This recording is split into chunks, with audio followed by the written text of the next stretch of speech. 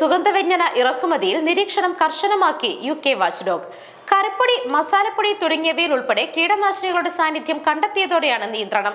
ക്യാൻസറിന് കാരണമാകുന്ന ethylene oxide അടങ്ങിയതായി തിരിച്ചറിഞ്ഞതിന്റെ പേരിൽ ഉയർന്ന ആശങ്ക മൂലമാണ് ഇന്ത്യയിൽ നിന്നുള്ള എല്ലാ സുഗന്ധവ്യഞ്ജന ഇറക്കുമതിക്കും ഫുഡ് സ്റ്റാൻഡേർഡ് ഏജൻസി അധിക നിയന്ത്രണങ്ങൾ ഏർപ്പെടുത്തിയിരിക്കുന്നത്. കഴിഞ്ഞ മാസം സിംഗപ്പൂരിൽ നിന്നും എം ഡി എച്ച് എവറസ്റ്റ് ഉൽപ്പന്നങ്ങൾ തിരിച്ചു വിളിച്ചിരുന്നു. ഹോങ്കോങ്ങിലും സമാനമായ വിഷയത്തിൽ ഇവയുടെ വിൽപ്പന നിർത്തിവെച്ചിരുന്നു. എന്നാൽ തങ്ങളുടെ ഉൽപ്പന്നങ്ങൾ സുരക്ഷിതമാണെന്ന് ബ്രാൻഡുകൾ അവകാശപ്പെട്ടു. കറുവപ്പെട്ട ഗ്രാമ്പു ജാതിക്ക പെരുംചീരകം മല്ലി ഇഞ്ചി കുങ്കുമപ്പൂവ് മഞ്ഞൾ എന്നിവയ്ക്കാണ് ഇറക്കുമതി നിയന്ത്രണം വരുന്നത്. എഥിലീൻ ഓക്സൈഡിന്റെ ഉപയോഗം ഇവിടെ അനുവദിക്കില്ല. ഇത് കൂടുതലും കണ്ടെത്തിയിരിക്കുന്നത് ഔഷധ സസ്യങ്ങളിലും സുഗന്ധ വ്യഞ്ജനങ്ങളിലുമാണ് F S A food policy deputy director James Cooper വ്യക്തമാക്കി.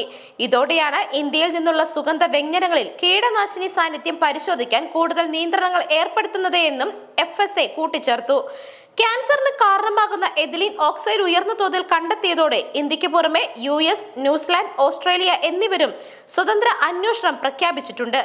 ഇന്ത്യയിൽ എം ഡി എച്ച് എവറസ്റ്റ് ഉൽപ്പന്നങ്ങൾ പരിശോധനയ്ക്ക് വിധേയമാക്കിയെങ്കിലും ഇവയുടെ ഫലങ്ങൾ ഇതുവരെ പുറത്തുവിട്ടിട്ടില്ല. News desk Magnavision